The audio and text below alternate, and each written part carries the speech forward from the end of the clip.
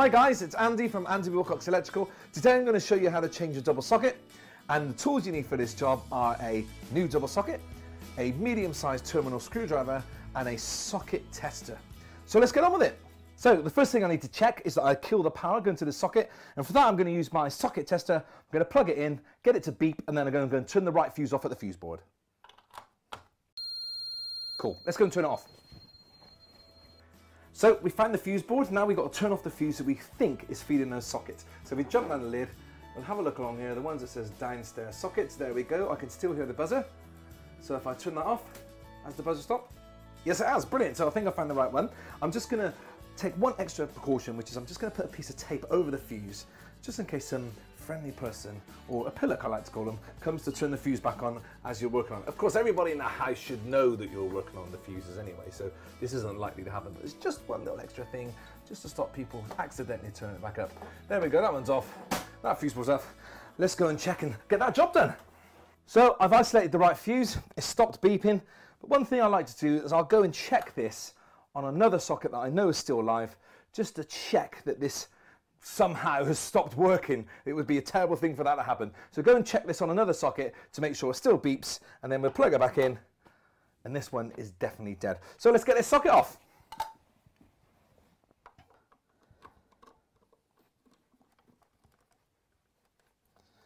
So take them out evenly, as you might bend the screw hole inside.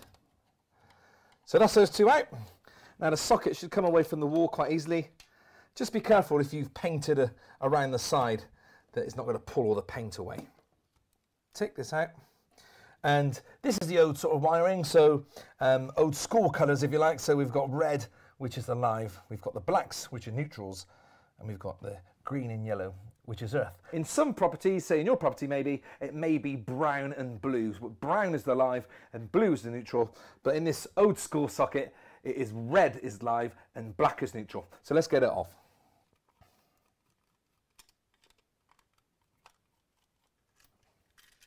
There we go, don't need that anymore, that one's gone.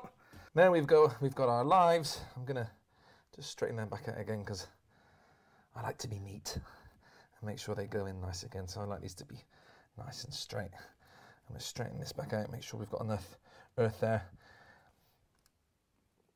And let's put the other one on. So a little tip for you, when you get the brand new socket, in the back of it will be some, some little screws and they're usually about sort of an inch and a quarter long. And sometimes the original electrician that did the job would have put the box a little bit too far in and has had to use a longer screw. So the screws you take out of that original socket, make sure you keep them because we'll probably reuse them again if the other ones aren't long enough. Let's get this one on the wall. So with the new socket, um, on the back of all sockets, they always tell you which terminal is which. This one here is live, this one is neutral, and these two here are earth. And I've opened them up to allow the cables to go in. So let's whack it on the wall. Let's do live first, so they go in there. And I want to make sure there's no copper being seen when I put the cables in. And I'm going to do them up lovely and tight. Beautiful. Neutrals next. That's on the next terminal down. Let's get them in there. I'm glad I straightened these cables out. I don't want any copper to be showing. That one's in do that lovely one up nice and tight. Lovely, and then finally the earth, let's get that one in there. Make sure they're fully in, the pair of them. And we'll do that one nice and tight too.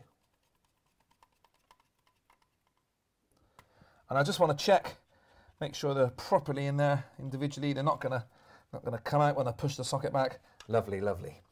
And now I'm just gonna shape those cables back in as I push the socket back in like this to make sure they go in there nicely. I don't want any of them to go behind the screw terminals, otherwise my screw might nick it when I put it back in. Like that, beautiful! And I am going to use the Oda screws because I can see one of them's longer than the other one, um, meaning the box isn't quite square. So we'll use these old ones, they'll be fine. And I'm not going to do the screws up one by one because it sort of bends the screw terminals out of shape. So I'll start that one off a little bit and then I'll start the other one and then I'll do them up evenly side by side.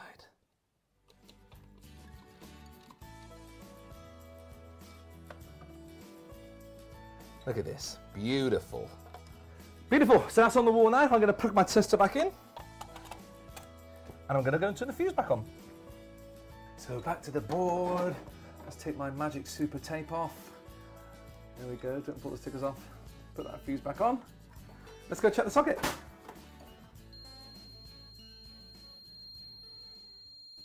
So I hope that video has helped you and you've managed to get that job done okay. But listen, I don't want you to end up like this fellow here, electrocuting yourself because electrics can be really dangerous and really harmful. So if you're not confident with what I've just shown you or you need any help on anything electrical at all, just give me a call on the number which is here, which is 01789 228 021 or go to the website where you can request an appointment and I can come around and I can help you and give you a quotation on the work that you need. I hope the video's helped you and I hope to see you soon. Bye for now.